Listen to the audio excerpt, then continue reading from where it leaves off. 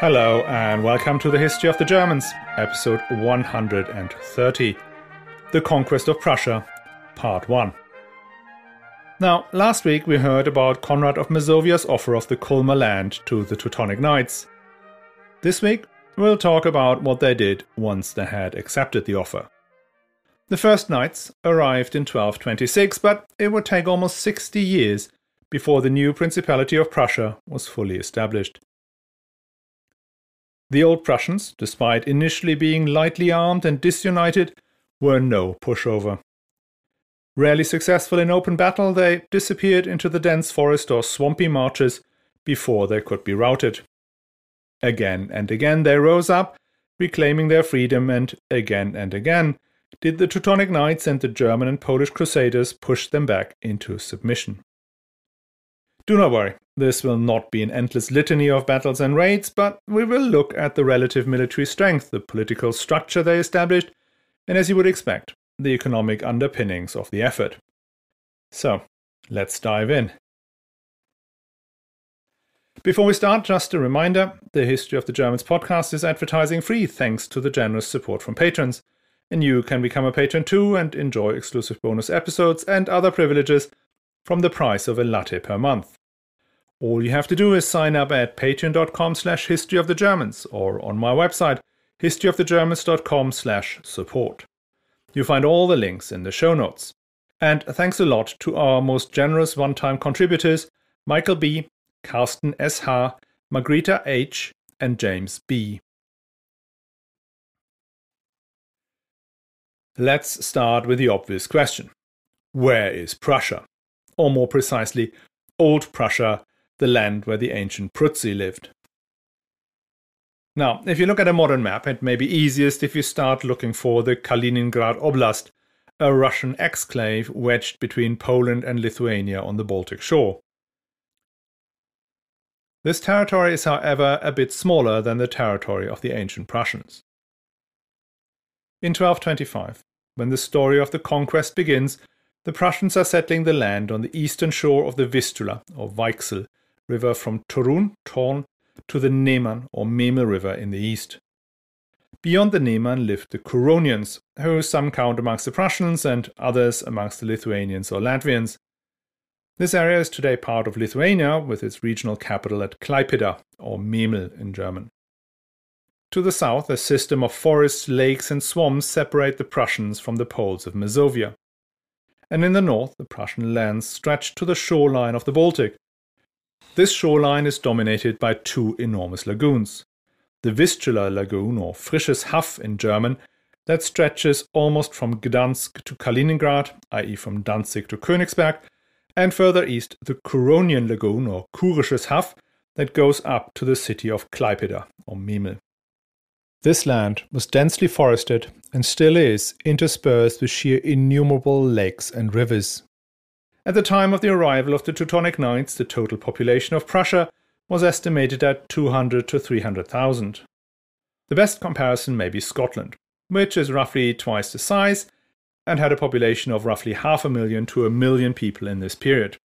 So, Prussia wasn't exactly densely populated, but it was by no means empty. The Prussians were Balts, members of the same linguistic and cultural group as the Lithuanians and Latvians. These groups had once settled across a large chunk of northeastern Europe, but had been pushed towards the Baltic shore as the great migration of the 4th, 5th, and 6th century sucked Slavic peoples into Eastern Europe, all the way to the Elbe River.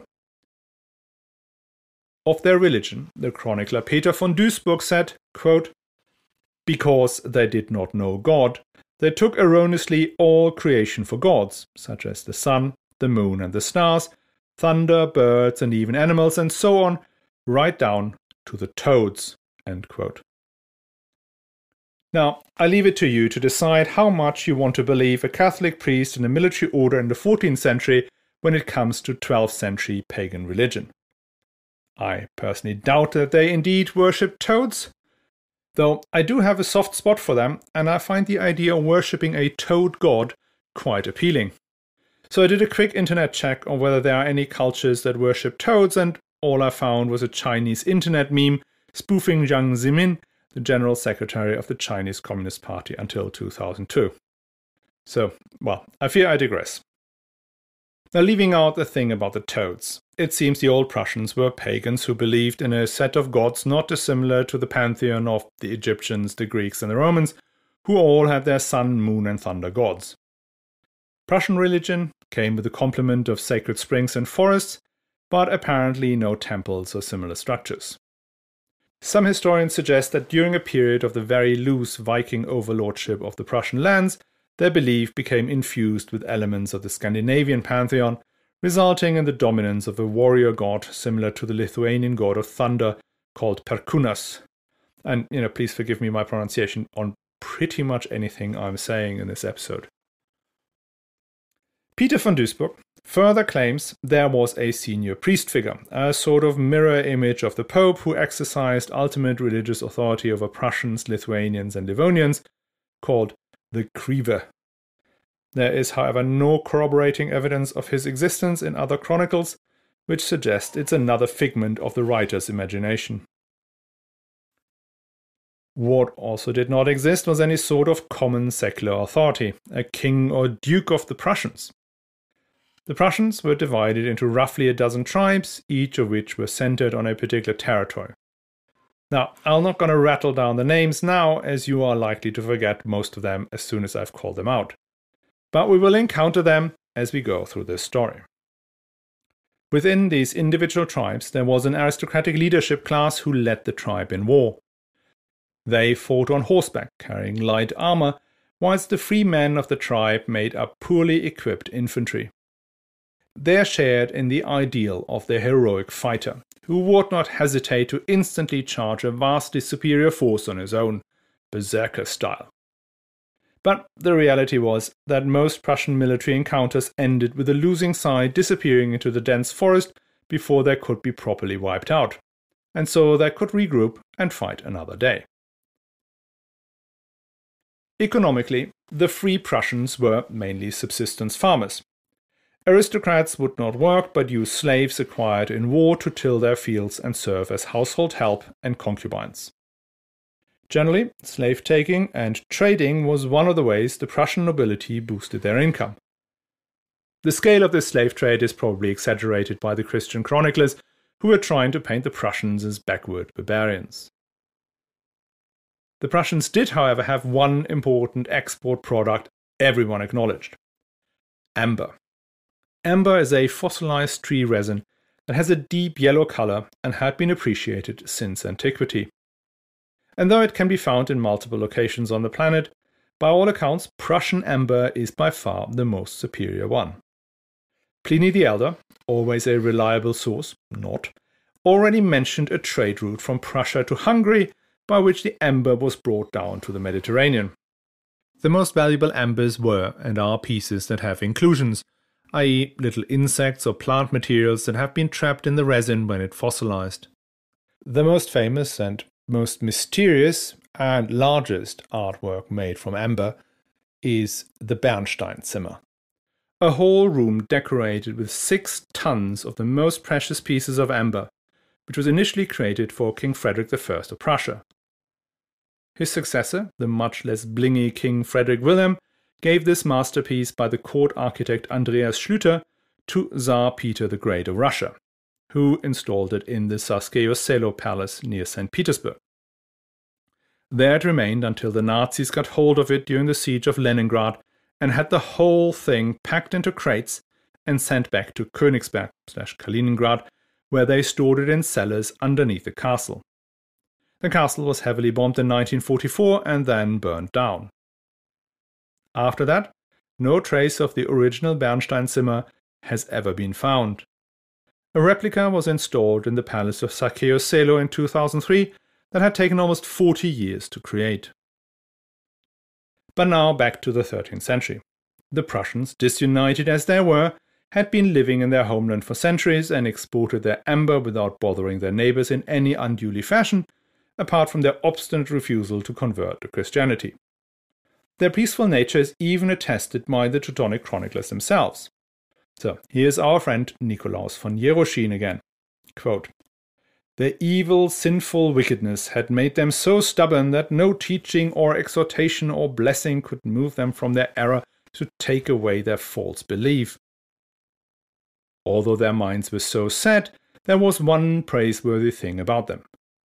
Because even if they themselves were inured to the faith and practiced the worship of all manner of idols, nonetheless, they lived at peace with the Christians who have settled alongside them during these years and allowed them to worship the living God without any interference. And this upset the evil enemy always opposes true peace and is jealous of all good things. So he did not suffer this state of affairs for long, he threw the seeds of hate amongst them, precipitating a violent feud between them, during which the Christians suffered great anguish and distress. Some of them were killed and some driven off into slavery amongst the Prussians. Unquote. So just replace the evil enemy, the devil, with Conrad, the Duke of Mazovia, and we get closer to the truth. What had provoked the Prussians into a brutal border conflict with the Polish duchies of Mazovia to the south and Pomerelia to the east was a crusade the Piast dukes had called in 1222 and 1223. And these crusades were spectacularly unsuccessful and only disrupted the peaceful missionary efforts that had been going on since 1206. The Prussians believed that the only way to prevent further attacks was to take the war into the land of their enemies. Here is Nikolaus von Jeroschin again, quote, They inflicted great damage on the country. They looted and burned, they put all the men they came across to the sword and drove the women and children away into perpetual captivity. If there was a pregnant woman so heavy with child that she could not keep up with them, they became angry with her and killed her and her child. They roughly wrenched the children out of the arms of their mothers and impaled them here and there on stakes, where they struggled and screamed in pain and writhed in agony until they died. They devastated the Duke's lands so completely that of all the fortresses large and small through which he imposed his control, only one on the Vistula, known as Ptok, was left under his command. Surely, Jeroschin is exaggerating here in order to justify the subsequent conquest of Prussia by the Teutonic Order.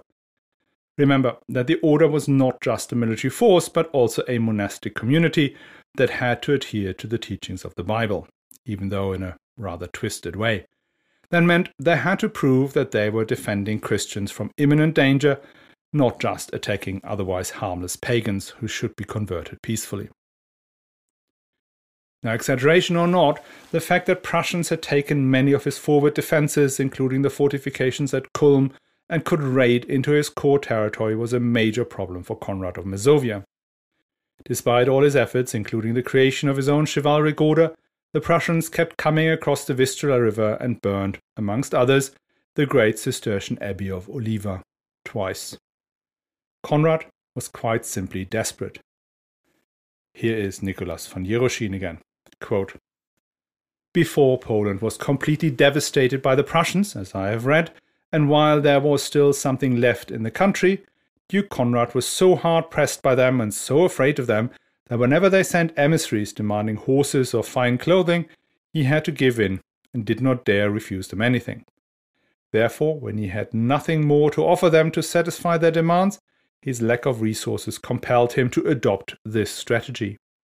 He invited his nobles and their wives and others to a social gathering, and when the guests were seated and eating and drinking cheerfully, he sent the Prussian emissaries what they had demanded he secretly gave them his guests' clothes and horses and let them escape.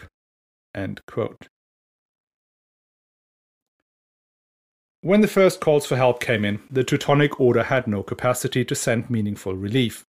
They had their hands full with the Crusades of Frederick II, the one that was abandoned in 1226, and then the successful one in 1227 to 29.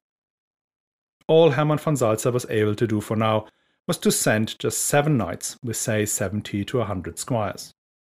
These knights were likely raw recruits and older warriors too ill or infirm to journey to the Holy Land. Conrad of Mazovia gave them a border fortress on the Polish side of the Vistula River.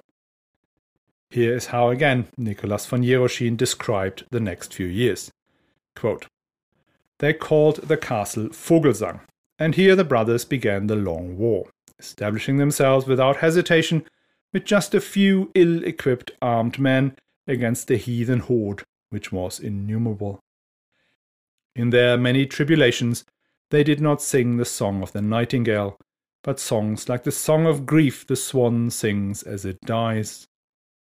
They had left well established, fruitful, calm, and peaceful lands and come to a land of horrors and wilderness, which no one tended.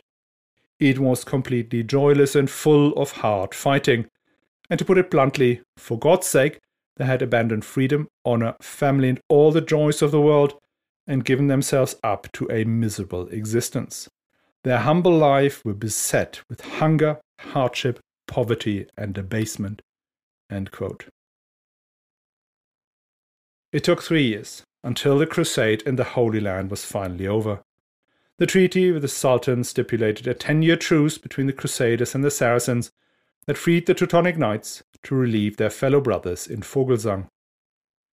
Hermann von Salza dispatched one of his brothers, a man called Hermann Balk, and a much more sizable force to Prussia. Hermann Balk became the first master of the Teutonic Knights in Prussia and would lead the war here and in Livonia for the next 12 years. And under Hermann Balk, the Crusader strategy in Prussia changed fundamentally. Until he arrived, Crusaders had gathered their armies in spring and then driven straight into the interior of Prussia.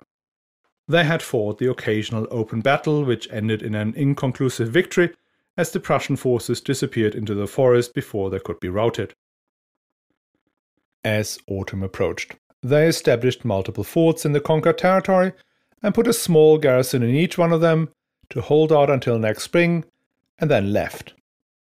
During the winter, the Prussians recaptured the forts that were too far away from any reinforcements and then massacred the garrisons. The following year, the Crusaders had to conquer the same area again and rebuild the same forts again, but the previous year's experience had dramatically reduced the already slim number of volunteers who were prepared to stay behind. So the forts were taken even easier, and everything reverted back to zero. Balk's concept was to build the conquest slow and steady, rather than herring in and out of the enemy lands. So instead of overstretching his forces, Balk built only one or two forts after each campaign, put in a sizable garrison of Teutonic knights who were willing to take the winter's cold and misery, and, crucially, had an escape route.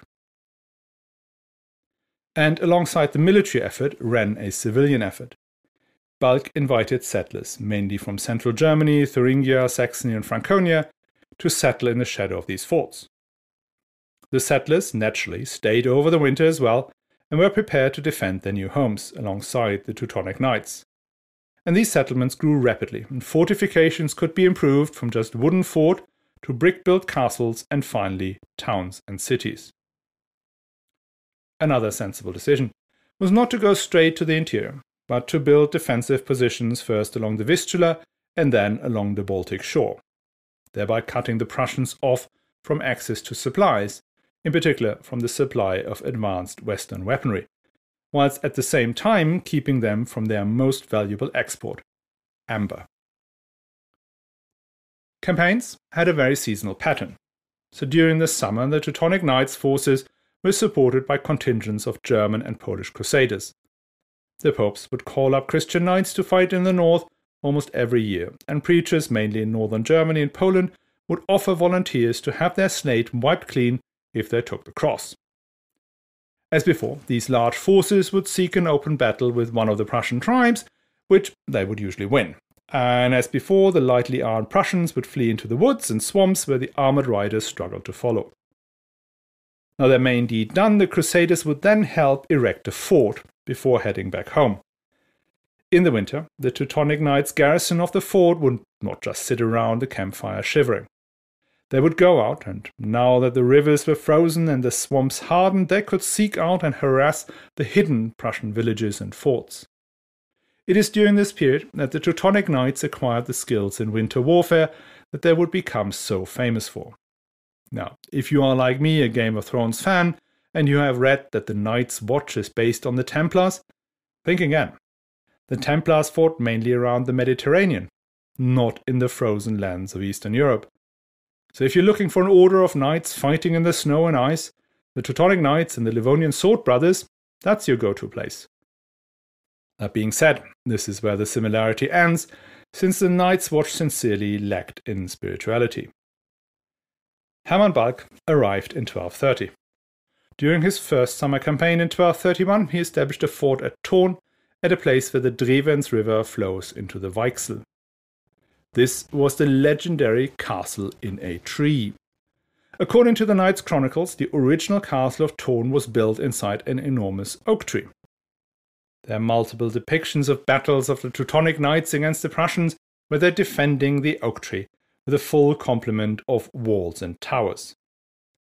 But most historians believe this to be a legend, though it's unclear what the legend of the oak tree was to signify. There's also no archaeological evidence since the oak tree castle was finally abandoned as the site was too prone to flooding, and the new and still existing castle of Thorn was built in a more traditional manner. The following year, Hermann Balk has enough forces to pursue two campaigns. One, 100 kilometers along the Vistula, where he founds the fort of Marienwerder. The other, following the Drewenz about half the distance, where he put the next fort at Rehden. With these three strategic positions, Balk had secured the Kulmerland, the territory the order had been offered by Duke Conrad of Masovia, and had its ownership confirmed by the Emperor Frederick II. Control of the Kulmerland was what had been promised to the order, and he had now achieved this objective. The question was, what next? Going further down the Vistula would be a move into territory that no Polish duke had conquered before. In the eyes of Christian noblemen of the 13th century, that meant it was no man's land. At which point the question arises who should own this land? In hindsight, it feels entirely natural that the Teutonic Knights would get all of it finders, keepers, and such things. But hang on a minute. The Teutonic Knights did not conquer Prussia all by themselves. There were the Crusaders who provided the majority of the attack force in the summer.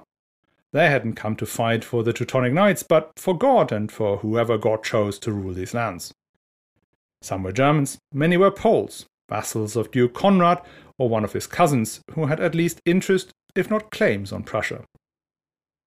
And Duke Conrad had called the Teutonic Knights to defend the border and may or may not have given them the Kulmerland in unencumbered ownership, but that does not automatically mean he would give up all rights to the rest of Prussia. The Teutonic Knights claimed that they had a contract with Duke Conrad that gave them exactly that full control of all of Prussia. But that again is being disputed by Polish historians, and even more importantly, has been renounced by the Polish kingdom once it had regained its stature in the 14th century. And finally, there was someone called Christian the Bishop of Prussia. Now, this cleric had been appointed as a missionary bishop to the Prussians by Pope Honorius in the 1220s. Bishop Christian surely believed he had a solid claim on at least parts of Prussia. In Livonia, where the situation was similar, the deal had been that the Bishop of Riga got two thirds of the land and the Livonian Sword brothers one third, even though the Livonian brothers did most of the heavy lifting. So, by all accounts, a similar deal would have been the more natural outcome for any further negotiations between the parties involved. But the Teutonic Order had two aces up his sleeve. One was pure luck, and the other was Hermann von Salza. The lucky part was that Bishop Christian was conveniently captured by the Prussians in 1233. Despite the bishop's entreaties, neither the Teutonic Order nor anyone else made an effort to get him released, which cut him out of the crucial negotiations until his release five years later, when, well, it was all over. Meanwhile, Conrad of Masovia found himself in another squabble with his cousins that diverted his attention away from Prussia. So, with the two main contenders out of the picture, Hermann von Salza could dominate the diplomatic battlefield. In 1234, he persuaded Pope Gregory IX to confirm the order's rights in the Kulmer land and granted it ownership of all territory in Prussia still to be conquered. The Pope also put the order and its territory in Prussia under his direct control and protection. The following year, 1235, Hermann got Frederick II to do the same. He reissued the Golden Bull of Rimini that guaranteed the order the ownership of all conquered lands and making them imperial princes with all the rights and protection that entailed. Both Pope and Emperor have now confirmed their ownership of the lands that the Crusades were to conquer. Nothing the bishop and the duke could do about it anymore. And best of all, the order now had two bosses the Pope and the Emperor, which meant they had no boss. Now, weirdly, once all the legal stuff was out of the way, that's when the conquest continued with renewed energy. In 1236, Hermann Balk and his Teutonic Knights, supported by the Markgraf of Meissen and his army of crusaders, pushed further along the Vistula, beyond Marienwerder. And that campaign was even more successful than the previous two. They forced the Pomesanian Prussians to provide them with large riverboats that brought them down to the mouth of the Vistula, where they founded Elbing. From there, they moved further inland and established Christburg. That cut the next tribe, the Pogesanians, off from the amber on the coast, at which point they, too, submitted to the order. Now, this period was followed by a period of lull, when the overall situation was so calm, Hermann Balk could send some of his forces north to Riga to support the Livonian sword brothers who had just been integrated into the Teutonic Order. And this period of calm was also when the second leg of Hermann Balk's strategy gained traction. As they had shown in Transylvania, the Teutonic Knights were not only a strong military force, they were also great at economic development. The German settlers who had started trickling into Prussia right from the beginning were becoming a wave of immigration, as the Teutonic Order's hold on the territory strengthened. And these settlers not only set up villages as they had done in the lands east of the Elbe since the 12th century, the order also encouraged the establishment of towns and cities. The ink on the capitulation of the Prussian warriors at Kulm wasn't yet dry in 1233 when Hermann Balk issued the Kulmer Handfeste, granting city rights to Kulm and Thorn based on Magdeburg law. The conditions for the new citizens were, in some respects, very generous, namely on taxes, tolls, fines, and the regular devaluations medieval rulers implemented as a way of funding themselves. On the flip side, though, the order's control over the city's institutions was much tighter than, for example, in the other Hanse cities founded around this time, like, for instance, Danzig. What amazes me is how quickly these settlements become wealthy in the 13th century. In 1231, Kulm was allegedly a broken fort, but by 1242, Kulm, Rehden, and Thorn had brick walls. Trade was flourishing, flourishing to a degree that it caused concern for Duke Swantopolk of Pomerania, whose capital and main trading center was Gdansk slash Danzig, and he was feeling the heat from the competition. Meanwhile, the conquest of the coastal areas continued. In 1239, the Crusaders established Balga on the Vistula Lagoon as a fortress to suppress the Warmier, another one of the 11 Prussian tribes. Things moved forward as planned, slow and steady, or should have done so had it not been for the arrival of a new kid on the block the Mongols. Now, the Mongols had their eyes on Hungary, having conquered most of the former empire of the Rus. The direct route into Hungary was through the Carpathian mountain passes that could be defended by even a relatively small force. Therefore, the Mongol Khan sent two armies, one directly to Hungary and one to go around the Pannonian Basin, aiming to get to Hungary via Poland, Saxony, and Bohemia. And this invasion was extremely successful. The Mongol army pushed rapidly into Poland and found little resistance on the mountain passes into Hungary. In April 1241, at two separate battles, they wiped out the Polish forces of Duke Henry the Pious of Silesia at the Battle of Liegnitz and the forces of King Bela of Hungary at the Battle of Mohi. For some still not completely understood reasons, the Mongols did not exploit their victory beyond some light plundering and massacring. They withdrew as quickly as they had come. The net result was that Europe remained in the grip of fear of another Mongol invasion for decades and the Polish dukes blamed each other for the disaster, which made them even weaker and even more disunited than they had been before. And now, at exactly the same time, the Teutonic Knights in Livonia got into conflict with the Republic of Novgorod, a story we will look at in more detail in two weeks.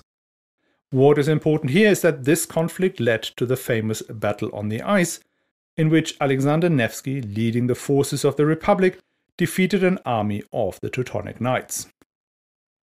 News of a defeat of the seemingly invincible Teutonic Knights spread like wildfire across Prussia.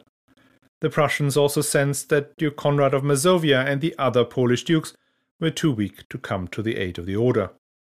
What swung them into action was that Duke Swantopolk of Pomerania had had enough of his cousins, the Teutonic Knights, and the competitions from the citizens of Thorn, Kulm, and Elbing, and so he allied with the Prussians. What turned the situation from a challenging to an existential crisis for the Teutonic Knights in Prussia was that Swantopolk, or maybe others, provided the Prussians with modern Western military equipment, armor, swords, and the like. Suddenly, the Knights' superiority, even in open battle, wasn't assured. In 1244, the Knights suffered a defeat at Rehden and in 1249 at Krücken. Within a short period, the order was reduced to just the three brick built castles and cities Kulm, Thorn, and Rehden. Then the war ground down to a stalemate. The Teutonic Knights were unable to hold the open countryside, and even where they had built wooden forts, they were often overrun. On the other hand, the Prussians and Swantopolk were unable to take the three strong castles. So this could have easily been the end of the story, had it not been for papal support. We are now in the year 1249. Hermann von Salza is long dead, and the struggle between the emperor and the pope had moved into its final stages. Either side is convinced that only a complete destruction of the other could bring a resolution. In this last decade, the Teutonic Order outside Prussia had cycled through a number of Grand Masters, was split internally, and had been yo yoing between the papal and the imperial side. But the order was still very rich and had an immense moral authority, making it a coveted ally in this struggle. Hence, the new Grand Master was able to convince Pope Innocent IV to call a crusade against Swantopolk and the Prussians. So now the Teutonic Knights were able to clear the Kulmer land and regain Marienwerder, whilst the other Polish dukes threatened to take Gdansk and dislodge Swantopolk from the mouth of the Vistula. Swantopolk was now ready to negotiate, which forced the Prussians to the table as well. The Pope had sent a legate to balance the various interests of the Church, the Polish dukes, the Order, and indeed the Prussians. The complex negotiations ended with the Treaty of Christburg in 1249. The Teutonic Knights were confirmed in their control of the Prussian lands they had conquered previously but they had to accept the creation of three independent bishoprics in their territory. They had to tolerate a crusade by the King of Norway against the Samland, a Prussian territory north of their recent acquisitions. They had to agree to give the citizens of Lübeck and the Polish princes shares in any further conquest, depending on their level of participation. And finally, they were obliged to grant the converted Prussians full citizens' rights equal to those of the Christian settlers, including the right for their aristocrats to become knights. These were tough conditions that, if permanent, would have prevented the Teutonic Knights from creating the theocratic state Prussia would eventually become. The Peace of Christburg puts an end to the First Prussian Revolt. As you can gather from the name First Prussian Revolt, there may be another one. In fact, there will be two more. But time is up. As usual, I've spent far too much time digressing and describing long lost civilizations. Next week, I will try to be crisper and I will fail again. But I should get through the remaining 40 years of the conquest of Prussia, and I hope you will join us for that again. And if you want to read ahead, there are some book recommendations in the show notes and a link to the very excellent translation of Nicholas of Jeroschin's Chronicle by Mary Fischer. Well worth a read. Now, before I go, let me thank all of you who are supporting the show, in particular the patrons who've kindly signed up on patreon.com slash history of the Germans. It is thanks to you that this show does not have to start with me endorsing mattresses or meal kits. If Patreon isn't for you, another way to help the show is sharing the podcast directly or boosting its recognition on social media. If you share, comment, or retweet a post from the history of the Germans, it's more likely to be seen by others, hence bring in more listeners. My most active places are what used to be Twitter, now X, at Germans History, and my Facebook page, History of the Germans Podcast. As always, all the links are in the show notes.